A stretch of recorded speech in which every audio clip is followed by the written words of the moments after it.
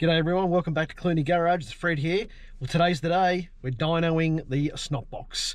So let's, we're here at our tune shop at Gentech. Let's go in, let's see how they went. Had to tighten up all the exhaust, get our O2 sensor plugged in, uh, a few other little things too. Had an engine mount, that was a bit interesting, so that's fixed. But we will get it on the dyno, show you a run, stick with us, it's going to be great. I think I can hear the snot box.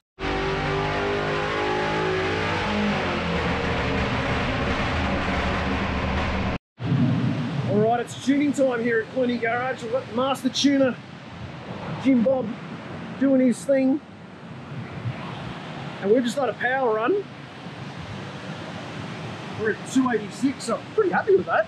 And we're just going to flatten out just between here and here. Just get the AFRs up a little bit.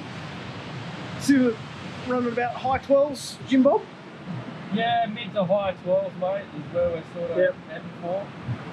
So we had some fuel issues with the car, so we changed that too, but these uh, these motors seem to like that AFR, so I'll give it another run in a second, let you hear it.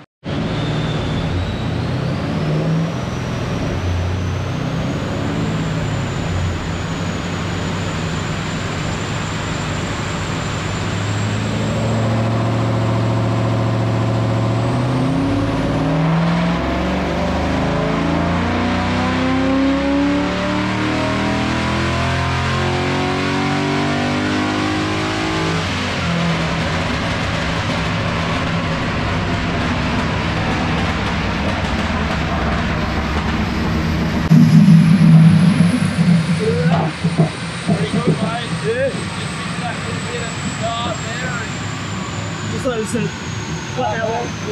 start knocking about. Yeah, it's meant to be there.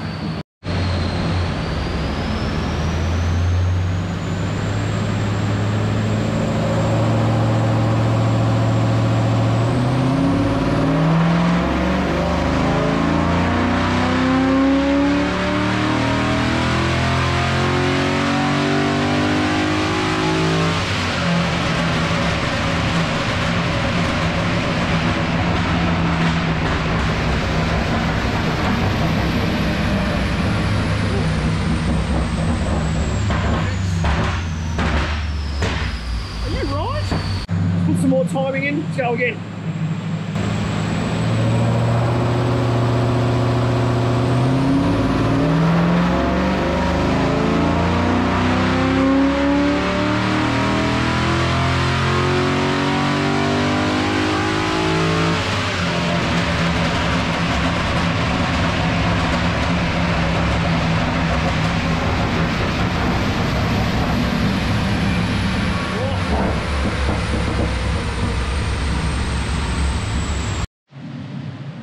All right, it's our last run.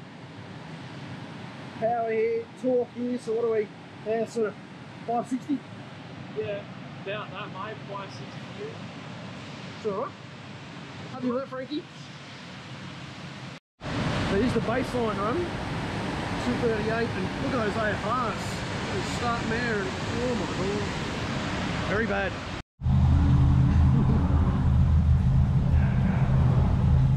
Going for the shakedown run after the tube.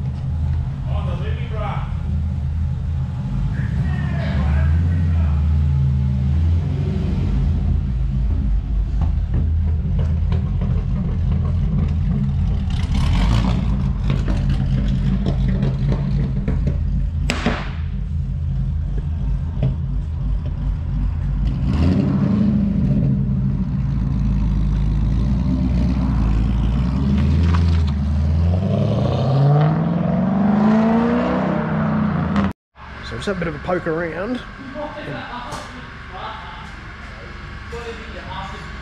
It's not a bad looking rear end. This thing's had some money spent on it.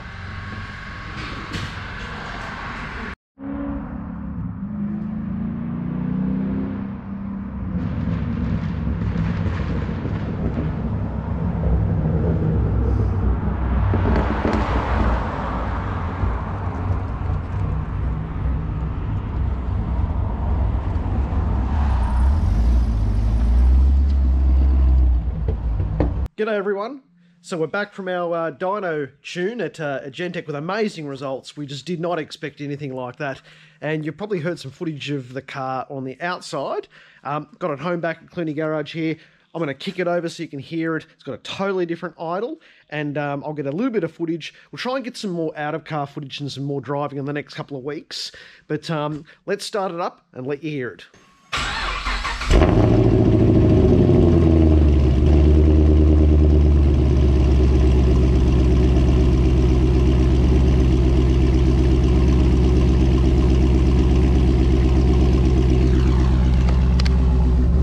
sounds a little bit different. Let's let it get up to temperature and then we'll show you what it sounds like when it's um, idling a little bit differently.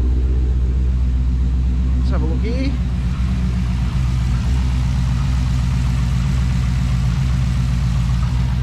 Got our other O2 sensor plugged in and um, yeah, show you another second.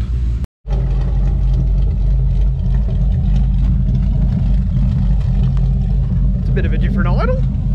The old Phantom cam rattling the old ginger beer away there.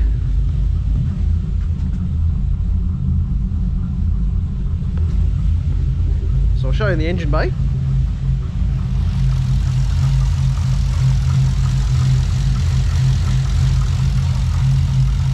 Just enough to rock you off to sleep. Uh, we're pretty happy with that. I'll give you a small little rev here once this comes up to temperature and uh, it sounds a little bit crackly and poppy too.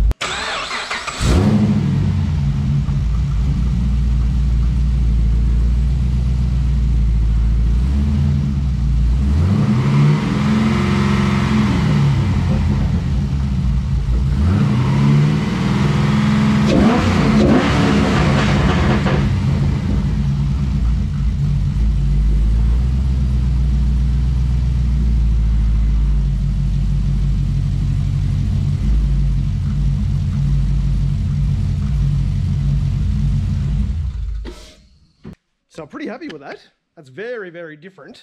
And um, now that we've uh, got the tune in it, running really well, we're going to take you through all the dyno runs and show you what the data means. So we didn't end up doing a baseline power run without any mods, um, but I've got a benchmark of what Clunie did when it had its L77 6 litre in it with the stock air filter, the stock exhaust. And that was something in the order of 216 at the rear wheels, kilowatts, and you could probably expect that maybe even a little bit less for this motor given the age of it. So that was sort of our starting point. And where we went from there, if I can get the right dyno sheet out here, is we took it into Gentech, obviously with the uh, exhaust headers that me and Frankie put on in the exhaust, and the OTR um, and our race pipes. We just put it straight on the dyno and did a baseline run just to see where we're at and that was 238. Now look at these air fuel ratios, they are all over the show. Um, down to nearly 11 at the end of the run there. So getting a little bit, a little bit dangerous there, but um, that's okay, that's where we started. And then our master tuner, Jim Bob at Gentech, um, we probably put about 25, 30 odd runs into it, and you could see the footage um, as we went. We ended up getting 286. We actually got 287, but the AFRs weren't where we wanted them. So here's where we ended up with the AFRs.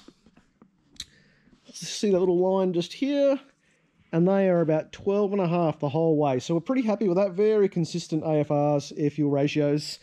And for those of you that are interested, our torque is in the order of about, on the scale here, on the y-axis, about 550 newton meters of torque the rear wheels and you can see there the baseline the, the blue is the new tune red is the um, old tune and um, quite a bit of difference there in terms of kilowatts so we are estimating 70 kilowatt lift at the rear wheels from the base with all our mods and the tune and we're thinking God knows how much the, the torque uplift is, but um, for Clunie, uh, for for this car here, that's a huge upgrade for us.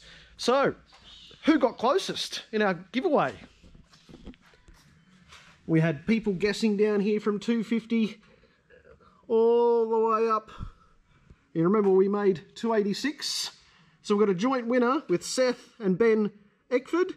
Now Seth's a previous winner of a giveaway uh, and he came um, obviously second when this guest came in at 285. So Seth's going to get a backup prize, and Ben, you are the proud winner of Grandad's blanket, the Mustang wraparound blanket from House of Muscle. Huge shout out to House of Muscle for sorting us out with that prize. So that means Ben, I'm going to need to send you a message and get an email address and a posting address to give you Grandad's blanket. So if you hear, see an email from Clunie Garage, don't ignore it because I've got to get you Granddad's blanket. So thanks for watching, guys. Been huge episode putting this one together on the dyno run, and I'm going to turn my attention tonight to restoring these headlights. I went to a wrecker today and got a grill. Um, we're going to a whole episode on how to make your headlights looking better. Um, we're going to start doing some trim detailing. Frankie and I bought a new bonnet today for a hundred bucks at a wrecker. Um, we're going to fit that up as well, but that won't be in tonight's episode, whether that'll be coming soon. But let's get this front end looking good.